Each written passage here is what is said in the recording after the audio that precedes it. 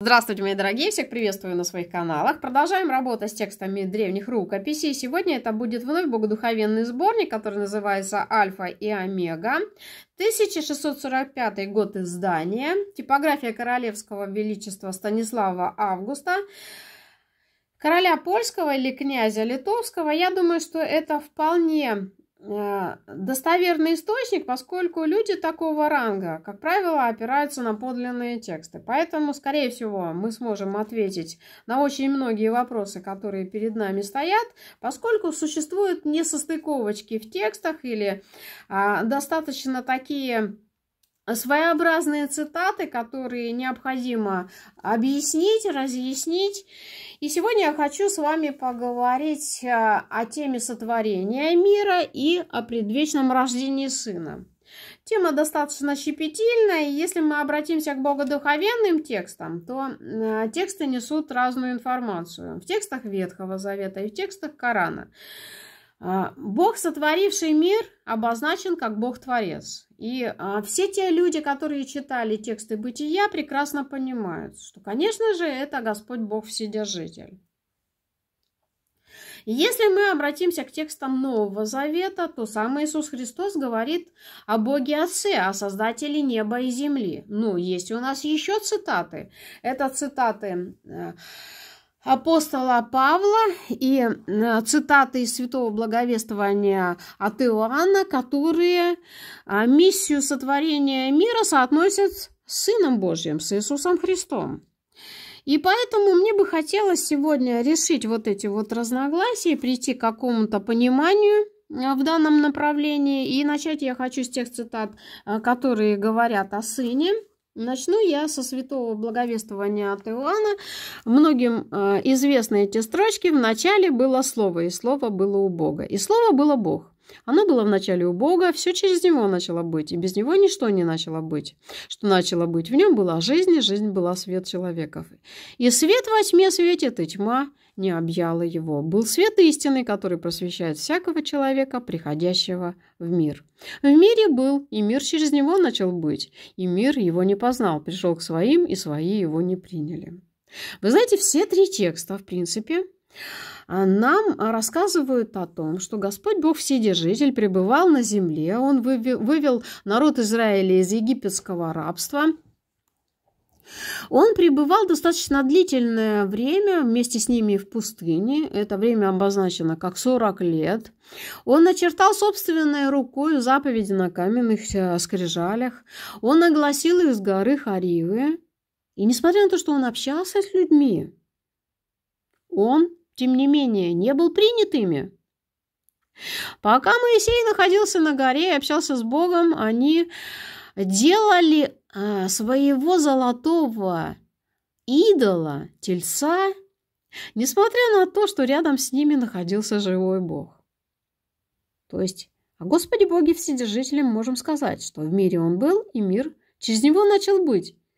И мир его не познал. Он пришел к своим, и свои его не приняли. То же самое мы можем сказать о Сыне Божьем. Но вот относится ли строчка и мир с него начал быть, к Иисусу Христу, мы должны разобраться. Вот 14 стих вносит конкретику а, в эти тексты, поскольку здесь четко обозначено, что Иоанн говорит однозначно о Сыне. И Слово стало плотью и обитало с нами, полное благодати и истины, и мы видели славу Его, славу как единородного от Отца. Итак, по мнению Иоанна, Сотворение мира произошло посредством Слова Сына Божьего. И Он сам был этим Словом. И это Слово было Слово Бог. Давайте еще а, прочитаем те тексты, которые а, носят подобную тематику. Это у нас тексты апостола Павла, послание к евреям, Глава номер один, стих первый и второй. Бог, многократно и многообразно говоривший издревне отцам в пророках, в последние дни сии говорил нам в Сыне, которого поставил наследником всего, через которого и веки сотворил. Вот на основании этих цитат многие христиане считают, что мир сотворен не Господом Богом Вседержителем, не Богом Творцом, а Сыном Божьим. Поэтому мне бы хотелось обратиться сейчас к текстам рукописей и ответить на этот вопрос. Итак, внимательно смотрим на текст и уже в первой строчке находим ответ на вопрос. «Я Господь, творящий все». То есть «Я творец всего, славы моей иному не дам». «Я есть вовеки», то есть «Я вечный». «Десница моя утвердила небо, и рука моя основала землю». Не Отец ли единый всем вам есть? Той премудрости водитель есть, и премудрым правитель. В руке его мы и словеса наши, и всякая премудрость, и дела, и художество. Итак, всегда было и будет в приоритете Слово Божие, поскольку оно изначально. Есть еще тут замечательные строчки. «Будет имя Господне, благословенно во веки прежде солнца пребывает имя его». И вот еще одна строчка. Во веки Господне Слово Твое пребывает на небесах. Так что если Слово вечное, если оно пребывает во веки, то никто не сможет никогда заменить это Слово, поскольку оно изначально. И все наши слова, и вся наша премудрость, все наши дела даны нам свыше. То же самое мы можем сказать о Сыне Божьем.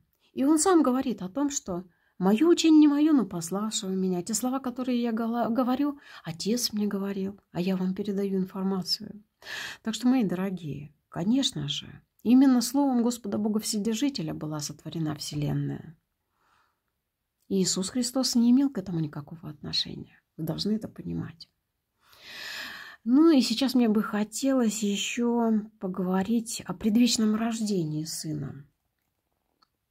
Очень много споров на этот счет.